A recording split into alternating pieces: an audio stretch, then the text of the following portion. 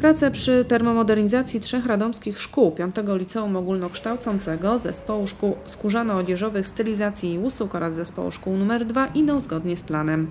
Radomski projekt Oszczędzanie energii i promowanie odnawialnych źródeł energii otrzymał zewnętrzne dofinansowanie z mechanizmu finansowego Europejskiego Obszaru Gospodarczego.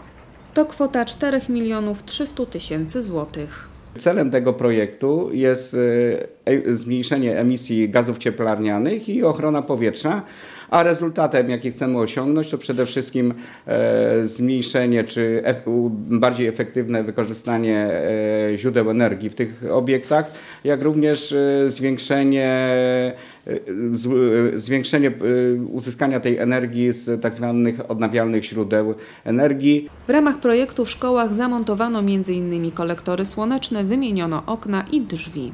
Są wykonywane takie kompleksowe prace, które są związane tak z dociepleniem e, ścian i wykonaniem nowych elewacji, dociepleniem stropodachów, e, wymiana kompleksowa instalacji centralnego ogrzewania, modernizacja węzłów cieplnych, e, wymiana źródeł światła na energooszczędne. Mechanizm finansowy Europejskiego Obszaru Gospodarczego to forma bezzwrotnej pomocy skierowanej przez Norwegię, Islandię i Liechtenstein do państw członkowskich Unii Europejskiej.